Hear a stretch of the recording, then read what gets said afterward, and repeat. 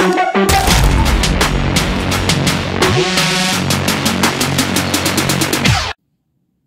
guys, I'm uh, just going to be talking about some facts and figures about knives, and uh, it's going to be informative and interesting and uh, maybe even funny. But uh, up first, we're going to be talking about uh, how America has um, brands. Okay, so uh, companies put a brand on a product to help market that product. And um, a lot of people don't realize, but the oldest brands in America are actually knife companies.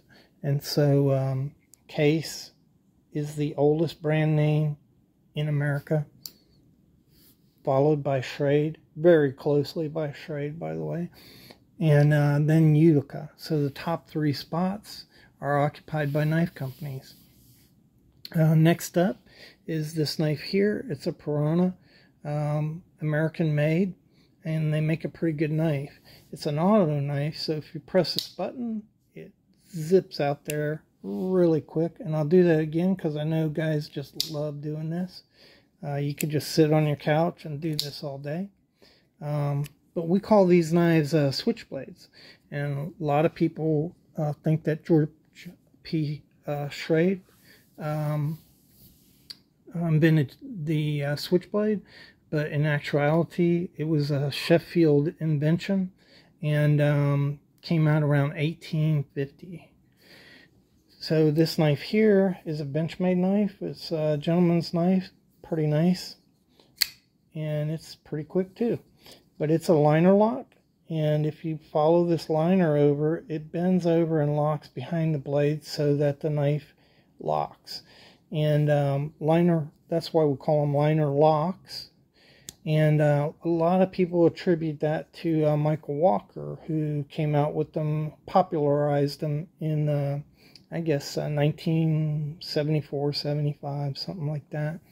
Uh, in actuality, uh, Cattaraugus patented liner locks in 1906. This is a knife here that's an electrician's knife, and um, this style knife uh, guys often refer to as signal corps knives. And that's because they were used in the signal corps in the first world war. I don't believe this is a wartime issue knife. I think it was a civilian issue but uh, it does date to around uh, 1917 probably to 1923 next up this knife here a conic hunting knife and um, this knife was designed by Albert Buck in 1965. It had a lock back. Uh, there's a lock for it. And uh, when this knife came out, it was really the nail in the coffin for uh, traditional folders. Within a very short period of time, everybody was wanting a lockback knife. And um, a lot of people believe that, that Albert Buck uh, invented the lockback. Once again, that's not really true. Uh, this knife here, um, this looks a lot like the first Sheffield lockbacks.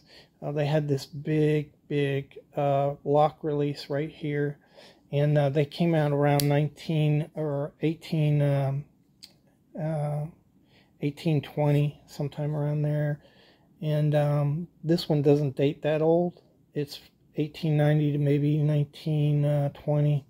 It's a George Wostenholm. But uh, Sheffield invented the lockback, and a long time before Buck did. Um, so this knife is a um, Barlow, and it's characterized by a, a, a, bolster that is a third the size of the uh, total length of the knife. And um, it was invented by Obadiah Bar Barlow in uh, 1667 and short time after that, around like 1670, they were mass producing this knife. And so um, most sources and most people you talk to will tell you that uh, the English first mass produced knives. And um, that's not really true. So um, in 1550, in Thiers, France, this is a French Pradel knife, um, pretty old. It's not that old though. Um, in 1550 in Thiers, France, was when they first started uh, mass producing knives. They got cutlers in one building performing all the different tasks of building a knife, and they would produce about a thousand knives a month, which is just phenomenal for the Middle Ages.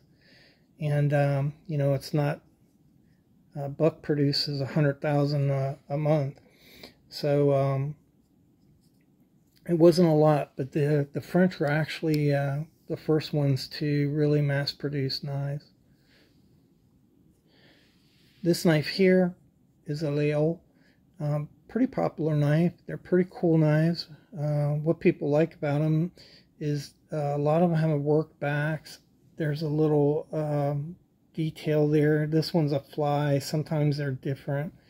Um, and you can see that the blade is worked there.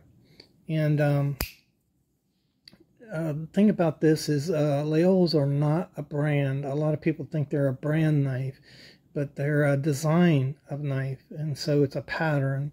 And a lot of different places in France made these Laguiole knives.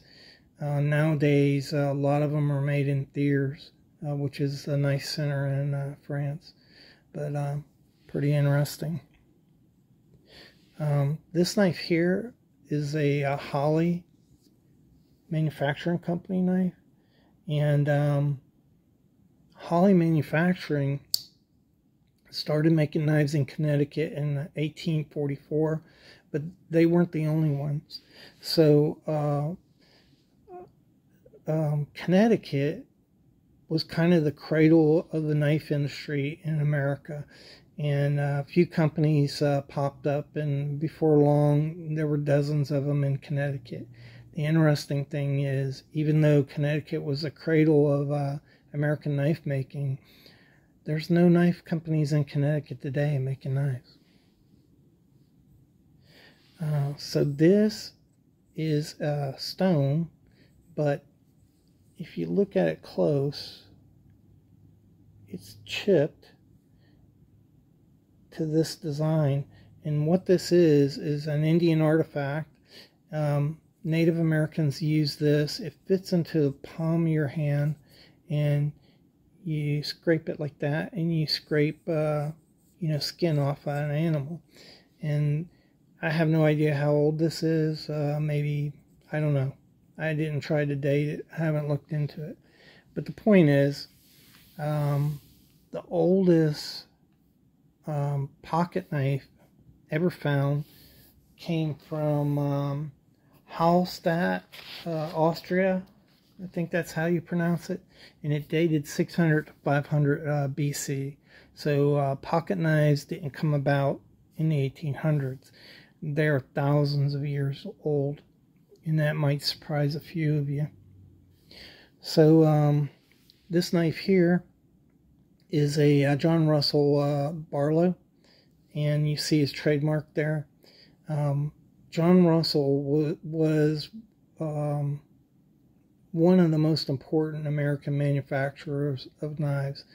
Uh, he started in 1832 in Connecticut, and um, John Russell was really the first American to directly uh, challenge the supremacy of the English in the American knife market. And he was really successful at it. So um, this is a Shipley uh, model. It looks like a butcher knife, but it's really a hunting um, camp style knife. And these knives were really popular in the 1700s and 1800s. And um, uh, tons of them. These knives came in from England, and uh, this is a type knife that uh, John Russell made. This is another design of knife that he made, and um, this has three pins. And this is an E.C. Simmons, but I I think this was probably made by John Russell. This knife here.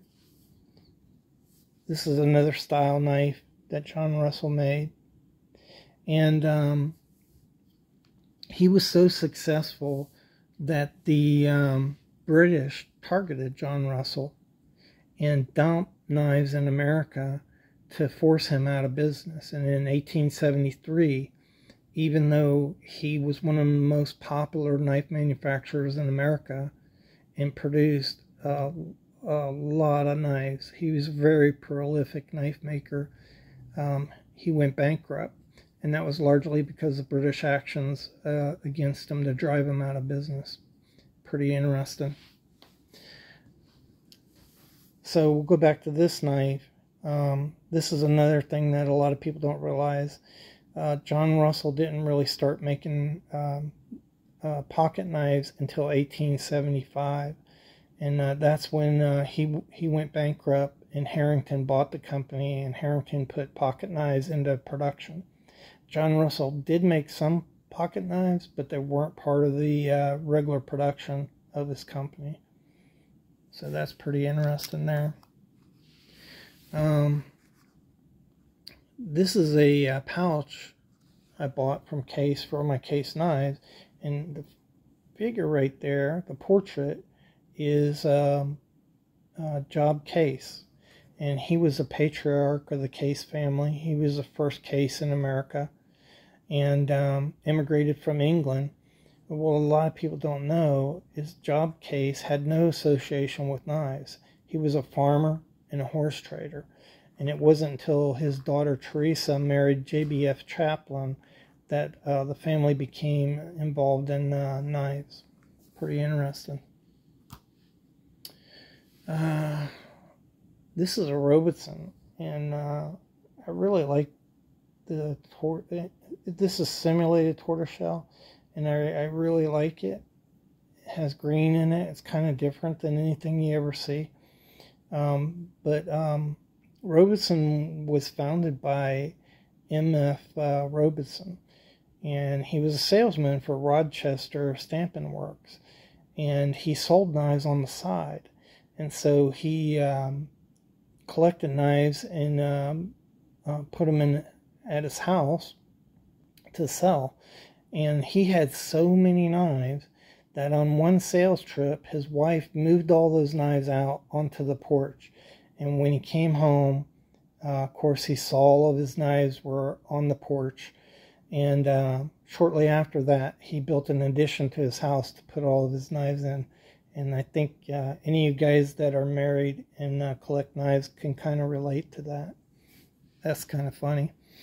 Um, so uh, I, I'll give you a little anecdote about me. So I I have a lot of knives, uh, traditional folders, modern folders, and um, big blades. I've got uh, close to 900 knives. And um, I'm always buying knives, and uh, my wife says, uh, I don't think you need any more knives. I don't think you need any more. And so uh, one time she cornered me, and um, I agreed not to buy any more knives. And so um, a couple weeks later, I was showing her the sword that I had bought, and she said, I thought we agreed you wouldn't buy any more knives. And uh, I told her, well, honey, this is not a knife, it's a sword. And um, you can kind of imagine how that escalated from there. it's pretty funny. Okay. Uh, all right, I'm going to cut the video off there. Um, I hope you guys found it informative. If you did, um, and if you liked it, I'd appreciate if you like it. And uh, if you'd like to see more content like this, uh, go ahead and uh, subscribe. I'd love to have you to the channel. Remember the truth. You shall know the truth, and the truth shall set you free. And I really appreciate you guys watching. Thanks for your support.